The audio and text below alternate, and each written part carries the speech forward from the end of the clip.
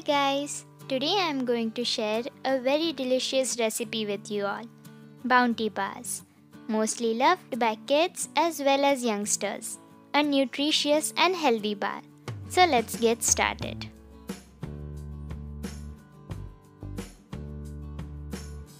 Firstly, in a pan, add 1 cup of full cream milk and stir it on a medium flame. To this, add 1 cup of desiccated coconut and mix well. Make sure that you keep stirring continuously so that the mixture doesn't stick to the pan. Then add half cup of powdered sugar.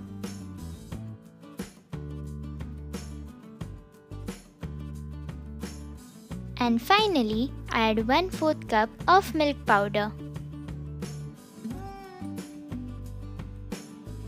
Keep on stirring on a medium to low flame till it forms a soft dough.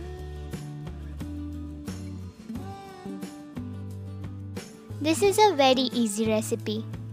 These chocolate bars can be gifted on occasions like Diwali or Christmas and can be made on birthday parties for kids. In about 5 to 7 minutes, your mixture will bind up and form a soft dough. Now transfer it into a bowl and let it cool down for a few minutes.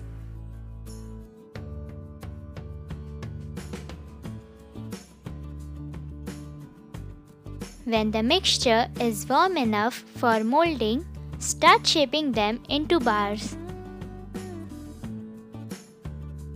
The best part about these chocolate bars is that they don't need any molds and can be molded easily by hands. Like so, mold all the bars and keep in fridge for 15 minutes. Now let's melt the chocolate. In a glass bowl, add 125 grams of chocolate compound and place the bowl over a hot water steamer and let it melt completely. You can also use dark chocolate compound for making these bars.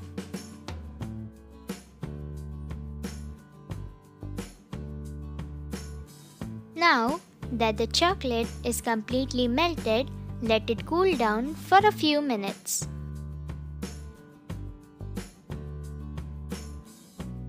Now that the bars are cooled down completely and the chocolate is also set, our next step is to dip the bars in the chocolate and place it over a butter paper.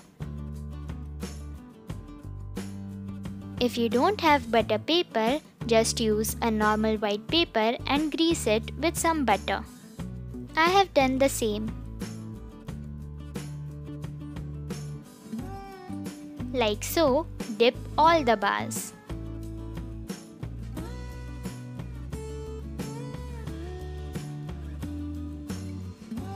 When you have covered all the bars with chocolate, keep them in the fridge for 5 to 10 minutes. When the chocolate bars are ready, cut the extra chocolate from the sides of the bars.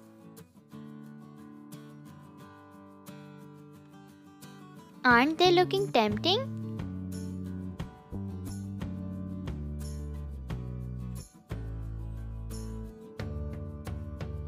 Your bounty bars are ready. You can store these chocolate bars in the fridge for about a week.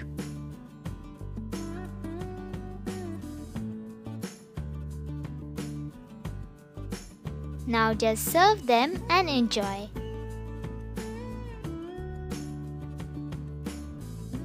So guys, wasn't it a very easy and a tasty recipe? Do try it out and let me know in the comments if you liked it. Hit that like button and subscribe if you haven't yet.